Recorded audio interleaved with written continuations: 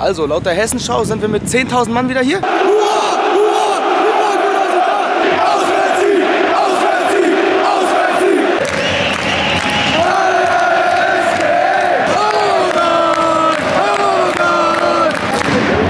hier seht ihr den Grund, warum keiner Hoffenheim respektiert.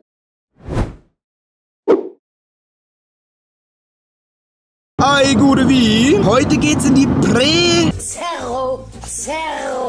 Arena. Finde ich immer noch super amüsant, ne? dass das einfach ein, ein, eine, eine Müllhalde Sponsor von Hoffenheim ist. No front an der Stelle. Ihr habt euch das ausgesucht. Ich kann nichts dafür. Hoffen wir mal auf ein gutes Spiel. Ich tippe mal ganz frech auf ein 1-0 von uns. Weil ich weiß nicht. Meint ihr, die zwei Wochen haben wir jetzt das getan? Funktioniert die Offensive jetzt? Schauen wir mal, ne? Die Defensive funktioniert. Jetzt müssen die anderen nachziehen. Weil auch viele gefragt haben und sich viele gewünscht haben, kommt mein erstes FIFA-Video hoch für dieses Jahr. Ach so, ich habe mich dazu entschieden, das FIFA-Video parallel mit dem Vlog online zu bringen. Allerdings auf dem Zweitkanal. Da wird dann noch mehr Content in die Richtung kommen. Jeder, der daran interessiert ist, ist herzlich eingeladen, rüber auf meinen Zweitkanal zu kommen. Den werde ich euch in die Beschreibung verlinken. Jeder, der nicht an Gaming-Content interessiert ist, kann gern hier bleiben. Mein Ziel dieses Jahr in FIFA ist es, nur mit Frankfurt-Spielern mich in die erste Liga zu spielen. Wir schauen mal, wie viele Controller das kosten wird. Gebt euch diese sexy Augenringe. Und das alles nur, damit ich jetzt drei Stunden zu früh am Stadion bin. Danke dafür. Gerne. Ich darf wahrscheinlich erst zwei Stunden vorher aufs Gelände. Bei uns ist es zumindest so. Aber immerhin bin ich mit meinem eigenen Wecker aufgestanden. Anders als meine WG-Partner, die ich immer sehr freundlich und sehr gerne wecke, wenn sie lange wach waren. Guten Morgen, Kinder der Sonne. Zeit zum Aufstehen. Wir haben schon fast 2 Uhr. Wir sehen uns in einer Viertelstunde erneut. Ich bin ein guter Freund. Die Mutter hier ganz wichtig in ihrem Abat. Andere Menschen holen sich Autos, weil sie das Auto haben wollen. Sie holt sich das Auto wegen den Farben. Ja, das hatte Eintrachtfarben. Wollen wir sie mal ein bisschen ärgern? Da fährt sie in Abat und dann ist er nicht mal im Sportmodus. Hier machen wir doch einen Sportmodus an. Nein, Hab schon. nein. Wieso? Dann röhr da ein bisschen mehr. Dann drück doch auch mal. Dann kannst du hier nicht mit 80 rumfahren. Ja, wenn die da vorne stehen, ist doch Stau. Okay, dann lass ich immer ausnahmsweise 80. Ausnahmsweise lasse ich dir das mal durchgehen.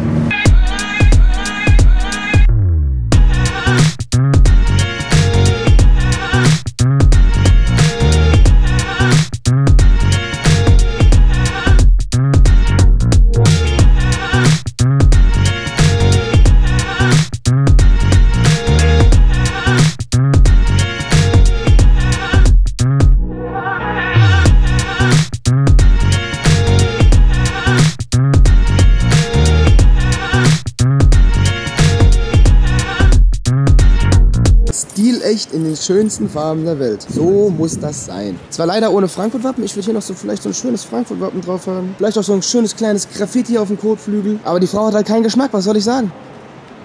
Was guckst du denn so? Wir stickern mal bei der Heimkurve. Auch richtig respektlos. Mal gucken, was passiert.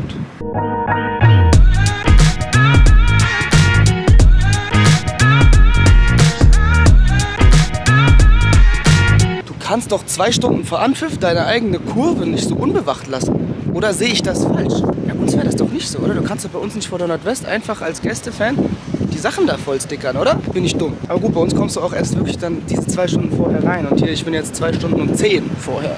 Die zehn Minuten sind vielleicht entscheidend in Hoffenheim. Wer weiß. Weiß jemand, wo die hier chillen? Fürs nächste Mal? Ich wollte eigentlich gerade ein bisschen stänkern, aber hab sie nicht gefunden. Die haben ja Ultras, soweit ich weiß. Wir haben keine. Gucken wir noch mal eine halbe Stunde. Vielleicht werde ich ein bisschen im Stadion gejagt. Mal gucken. Also der Einlass beginnt. Das sieht wirklich nach erlebnisorientiertem Klientel aus. Dann machen wir lieber keinen Ärger. Also, laut der Hessenschau sind wir mit 10.000 Mann wieder hier. Das wird so ein Heimspiel schon wieder. Geil. Der Auswärtsfluch wird gebrochen. Ich meine, die sind ja irgendwie Vierter oder so. Und je besser der Gegner, desto besser sind wir. Ey, das fuckt mich so ab, auch dass ich in Leipzig war. Da habe ich einmal keine Zeit. Das ist gefühlt das Spiel des Jahrtausends, mit der Stimmung des Jahrtausends, mit der Pyroshow des Jahrhunderts. Ja, achso, ich wollte Jahrhundert sagen und dann Jahrtausend steigern.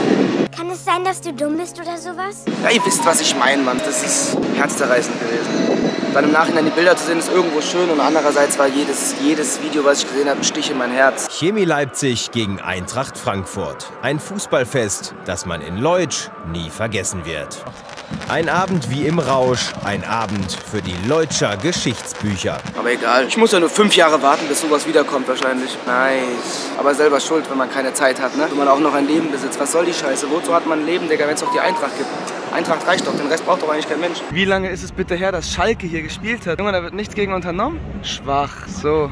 Mehr kann ich leider auch nicht machen. Mehr liegt nicht in meiner Macht. So, dann schauen wir doch mal, ob der ihre Wurst was kann, oder? Mhm, mhm. Die Haptik der Wurst und des Brötchens ist hervorragend. Mhm, mhm, mhm. mhm.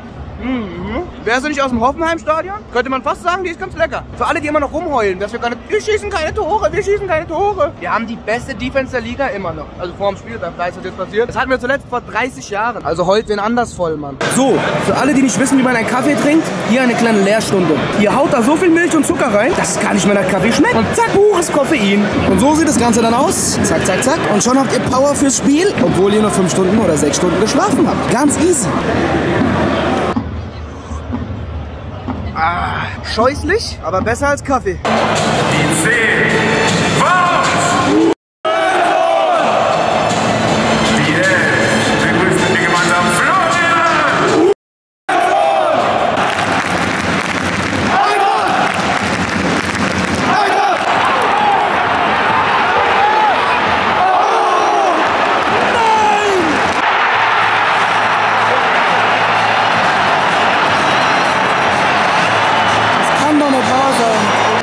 Gesundheit kann mir schmecken.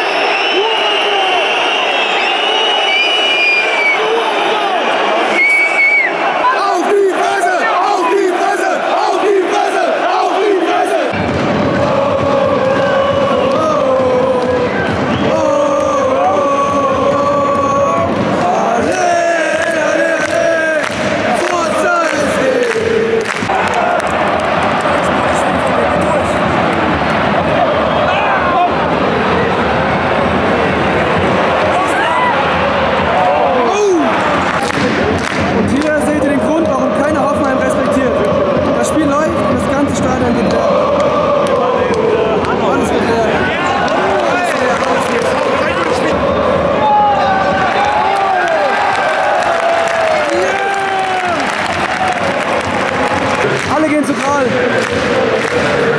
Ehrenteam. Haben ein geiles Team, Alter.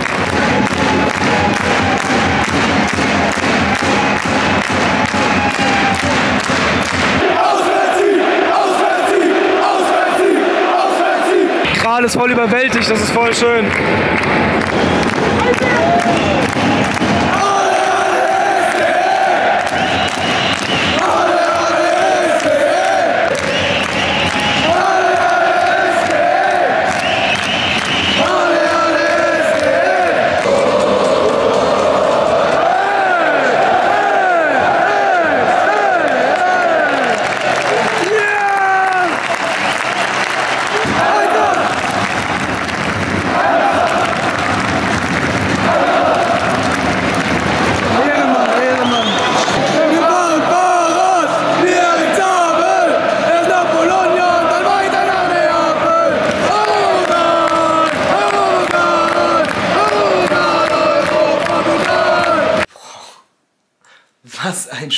Was eine Stimmung. Eine Sache verwirrt mich ein bisschen. Alle haben irgendwie sowas von Auswärtssieg die ganze Zeit gerufen und auch der Kicker schreibt was von Auswärtssieg. Da wird das nur nicht so, das war doch ein Heimspiel. Was haben wir bitte offensiv da in der ersten Halbzeit abgerissen? Wow, was für Spielzüge, was für Mechanismen da zusammengelaufen sind. Und du hast richtig gesehen, die haben sich den Arsch aufgerissen in der Länderspielpause. So eingespielt, auf einmal innerhalb von zwei Wochen. Die müssen sich wirklich den Arsch aufgerissen haben. Und auch, auch in der zweiten Halbzeit. Und natürlich spielerisch nicht mehr viel kam, außer unsere Konter, die trotzdem nicht schlecht waren. Aber defensiv, was ein Kampf, was eine Raffinesse. Also wirklich so, so, so, so klug, so abgeklärt, so konsequent, aber auch trotzdem. Wahnsinn. Ich weiß nicht mal, welchen Spieler ich hervorheben soll. Natürlich, da sind so viele. Mamouche, Tuta, Buta, Gral. Also erstmal, was mich halt, klar, Mamouche erwartet man, dass er irgendwann zieht. Aber ich verstehe nicht, was mit Tuta los ist. Hat der Hasebe den unter seine Fittiche genommen? Das, der, der ist auf einmal so ruhig, abgeklärt, fehlerfrei, technisch stark. Äh, Wahnsinn. Buta heute auch in der ersten Halbzeit fand ich sehr, sehr gut. Sein bestes Spiel bis jetzt für uns, finde ich. Ich möchte eigentlich, ich finde schon fast respektlos, da jemanden hervorzuheben. Ich möchte einfach die ganze Mannschaft loben und der ganzen Mannschaft wirklich für diese Leistung danken. Und trotzdem, ich finde, man hat das ganze Spiel gesehen, warum Hoffenheim auf der 4 war in der Tabelle. Weil da war trotzdem, es hatte alles Hand und Fuß, was die gemacht haben. Und wir waren einfach nur noch krasser. Das ist das Einzige gewesen. Und über die Stimmung brauchen wir gar nicht anfangen. Also Wahnsinn, wie geil war bitte die Stimmung. Das neue Lied auch. Ich habe selten ein neues Lied so gefeiert, dass wenn das erstmal richtig warm läuft in der Kurve, wird das, glaube ich, auch ein richtig lautes Lied. Ich hoffe, das Video hat euch gefallen. Heide!